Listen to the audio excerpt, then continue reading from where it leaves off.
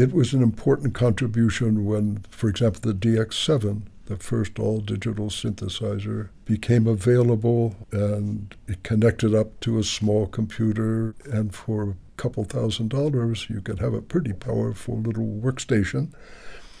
And uh, Jean Claude Risset, who was my close colleague all these years, we both started work in 1964. He at Bell Labs and I here.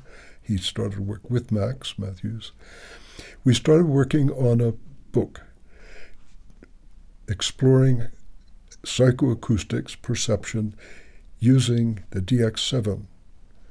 I mean, there's a lot you can do with it.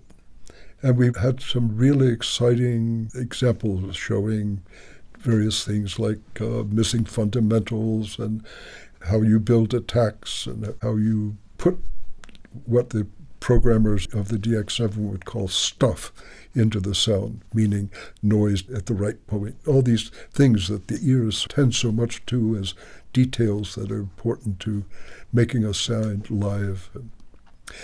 But what happened was Yamaha then had another product, and so they dropped the DX7 as a.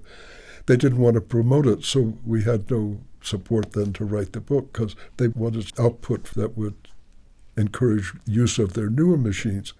That's how they made their money, of course, so it's natural. But anyway, there's no doubt that uh, the DX7 with the computer democratized music.